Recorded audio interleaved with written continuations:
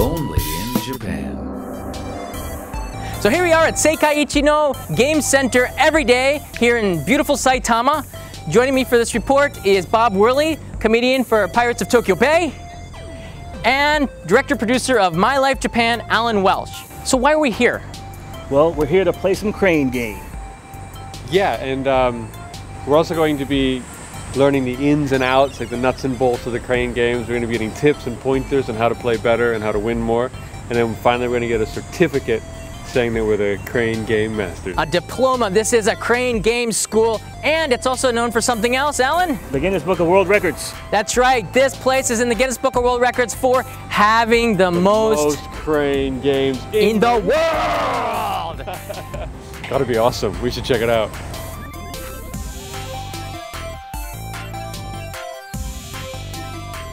In Japan, game centers like this are still alive and well. This may seem retro to many in the game console generation, but really, look at this place. You can actually win this stuff, if you have the skill. Games in all shapes and sizes, glass boxes filled with stuff, toys, and other goodies. It's all waiting to be owned by you. The crane game is also called the UFO catcher or the claw game. This crane has a mechanism called a pincher, two ends that pinch what you're after.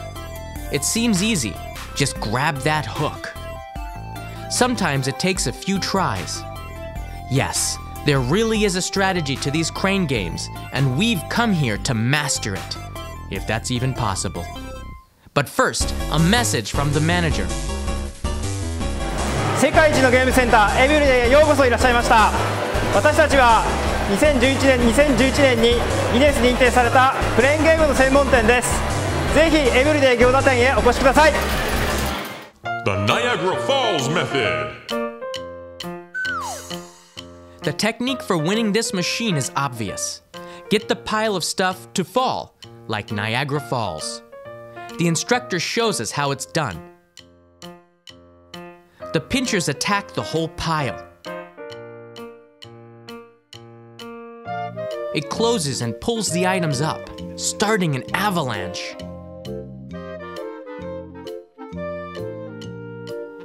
Watch again. You know what to do.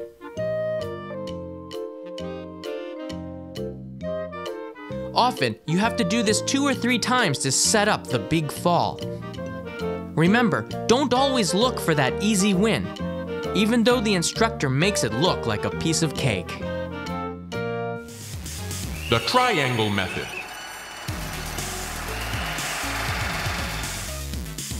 The triangle method works well with long objects. You want to pick it up in the front third, not the middle. This locks the item in place between the pincher and the pincher's upper base. It may take a couple of tries to get the object into position. The key is to get it perpendicular, lining up perfectly so it doesn't slip out.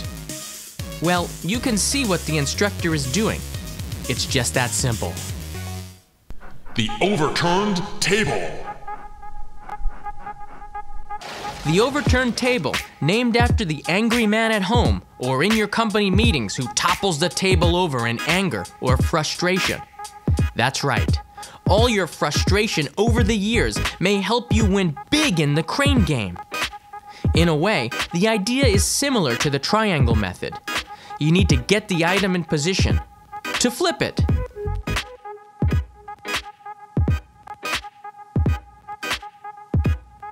Grab it from the rear, and it will be easier to steer. The instructor overturns the bear in one try. Now it's our turn. We've been unleashed for trial and error with 30 tickets. It's part of the course. Bob's been thrown into the crane game world, this time armed with more crane knowledge than usual. All right, I'm gonna take a hole hook. I've learned how to do the hole hook. These are hole hooks. We're gonna get it done. He accepts the challenge and will use this method, the hole hook. Here's an example of a perfect hole hook win from the instructor. The pincher claw enters one of the holes. The box leans in and the prize is yours. Just don't topple the box over. It's worth a second attempt with one more box left standing. He really wants that one piece action figure.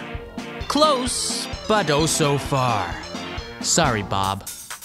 Here's Alan going for it. He's found a popular Hello Kitty stuffed bear machine. One may say he's pretty sure of himself. It might be from all that studying today.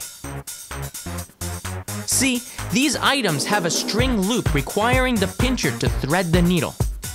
It requires surgeon like precision.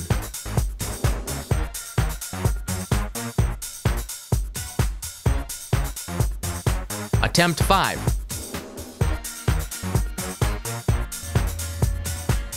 Boom! Success! Sort of. Sometimes it's just not your day.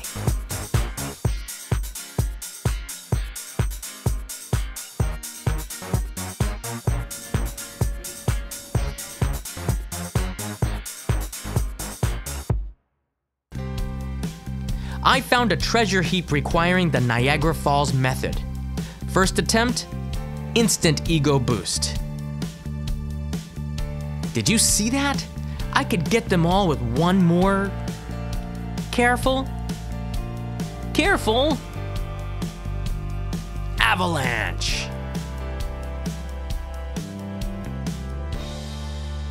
The prize is mine. After an hour of few successes and many failures, we graduated.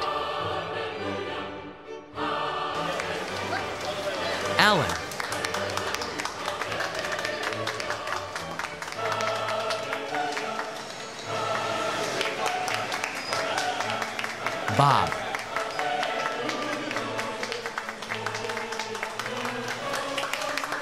And myself. We're grads.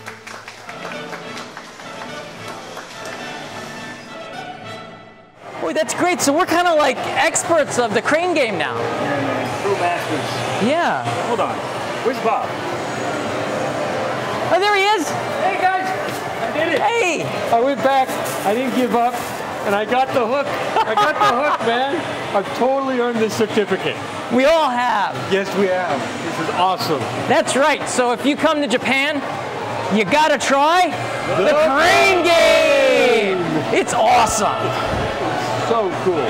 Let's go get some more stuff. Yeah, I, I can do it now. Honestly, there is a strategy to this. Some say it's part of Japan's culture to find the littlest flaws in something and try to perfect them. It requires constant practice to perfect any skill. Attention to details.